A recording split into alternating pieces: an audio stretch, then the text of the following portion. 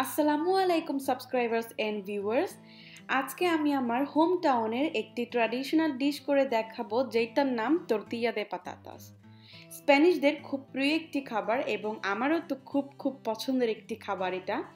আগে আম্মু করে খাওয়াতো, কিন্তু এখন দূরে থাকার কারণে আমার নিজেরই করতে হয়। আমি একদম হুবাহু যে বার অ্যান্ড রেস্টুরেন্টসগুলোতে বানাই, ঠিক তেমনটাই বানিয়েছি, কোনো দিক দিয়ে কম হয়নি। মেন ইনগ্রেডিয়েন্টস হচ্ছে তিনটা। এইটা খেতে খুবই মজা, আপনারা বানিয়ে খেলে বুঝতে পারবেন আমি কি বলছি। এই ডিশটা তৈরি করার জন্য কোনো ধরনের ওভেন ইউজ করা লাগবে না। তার মানে বুঝতেই পারছেন প্রসেসটা কত ইজি হবে। তো চলুন দেখিনি কীভাবে করতে হয়। আমি একটি ফ্রাই প্যান গরম করে সেইখানে বেশ পরিমাণ অলিভ অয়েল দিয়ে দিব। এই রান্নাটায় চেষ্টা করবেন অলিভ অয়েল ইউজ করার জন্য।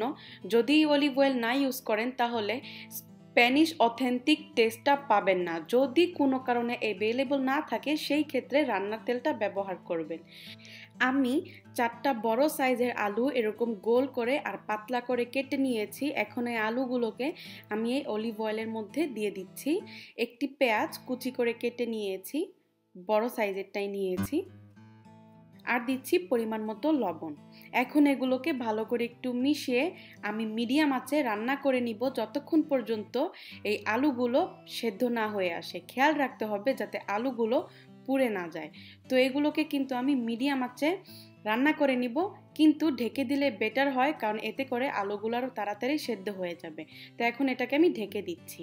প্রায় অনেকক্ষণ পর এই দেখেন এগুলো কিন্তু অনেকটা নরম হয়েছে। সম্পূর্ণ সেদ্ধ হয়েছে। আমি কিন্তু এর মাঝে অনেকবার নেড়ে চেড়ে দিয়েছি। এগুলো ভেঙে গেলে কোনো সমস্যা নেই। তো এখন এগুলোকে তুলে এক সাইড করে রাখব। আমি একটি ঝাঁঝরির মধ্যে এই আলুগুলো দিচ্ছি যাতে করে যে এক্সট্রা তেল আছে সেগুলো যেন আলাদা হয়ে যায়। আমি নিচে একটা পাত্র বসিয়ে দিয়েছি। আপনারা চাইলে একটা বাটিও দিতে পারেন।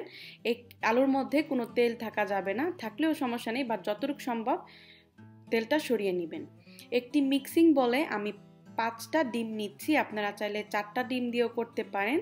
তো ডিমের মধ্যে আমি সেই আলুগুলো দিয়ে একটু ভালো করে মিশিয়ে নিব।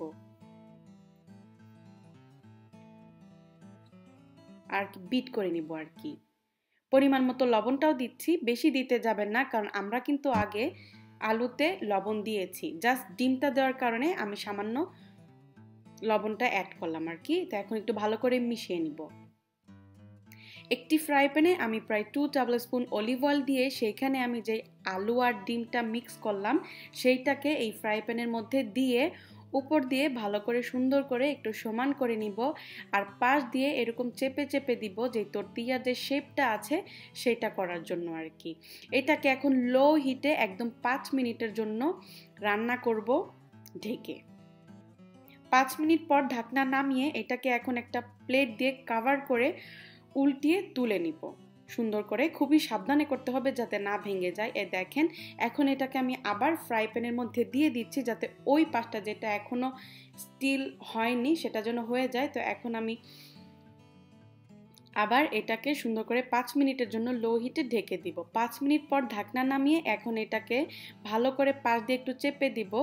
শেপটা সুন্দর করার জন্য। এটা হয়েছে কি না সেটা দেখার জন্য একটা কাঠি ঢুকিয়ে বের করে দেখবেন। যদি পরিষ্কার আসে দ্যাটস মিন এটা হয়ে গেছে, এখন একটা প্লেটের উপরে এভাবে কভার করে উল্টিয়ে তুলে নিব। দেখলেনই তো কত সহজ করেই বানানো যায়।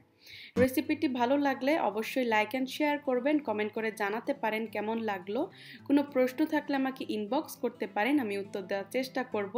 আমাকে ফলো করতে পারেন on Facebook and Instagram all R Bushra's cooking world আমি একটু কেটে দেখাচ্ছি, এইটা কতটা নরম হয়েছে।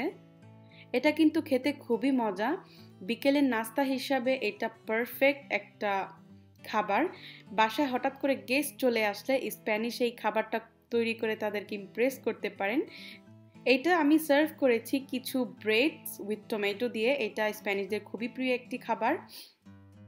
সো ফাইনালি আমাকে সাপোর্ট করে আরও এগিয়ে নিয়ে যাবেন যাতে আমি আগামীতে আরও ভালো রেসিপিস আপনাদের সাথে শেয়ার করতে পারি। Thank you so much